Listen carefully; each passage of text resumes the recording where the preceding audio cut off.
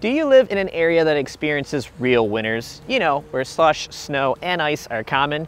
If you do, please consider getting yourself a set of winter tires. I know some of you out there are probably scratching your heads and wondering why bother. You have all season tires. And while it's true that a set of quality all seasons can be okay, they're still not gonna be anywhere near as effective as winter rubber when the going gets cold and slick. And to find out why that's the case, we've come to visit the Tire Rack in South Bend, Indiana.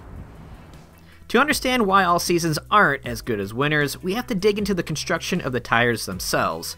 Contrary to popular belief, all tires are not created equal, simply being round and black.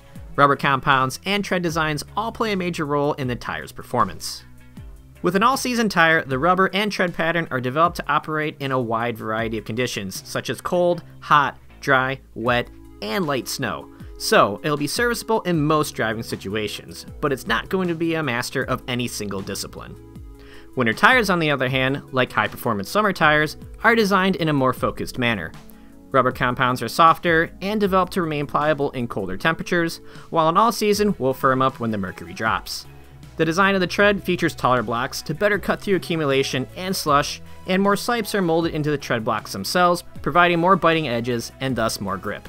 Of course, I don't expect you to take my word on all this because seeing is believing, and that's why the Tire Rack has brought us to the Compton Ice Arena on the campus of Notre Dame to demonstrate the differences in acceleration, braking, and turning between an OEM Firestone Destination All Season and Bridgestone Blizzak DM V2 Winter.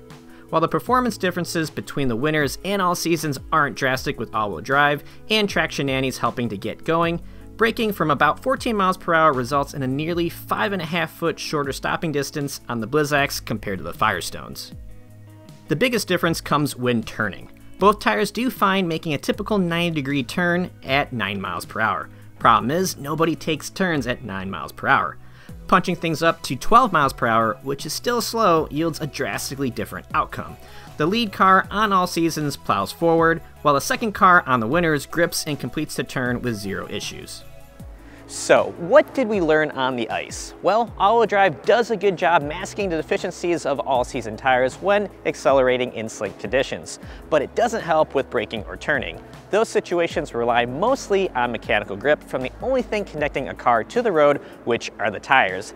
And to get the most of that when temps drop and the snow flies isn't on all seasons, but to roll on winter tires with specifically developed compounds and tread designs that ultimately make for safer winter commuting.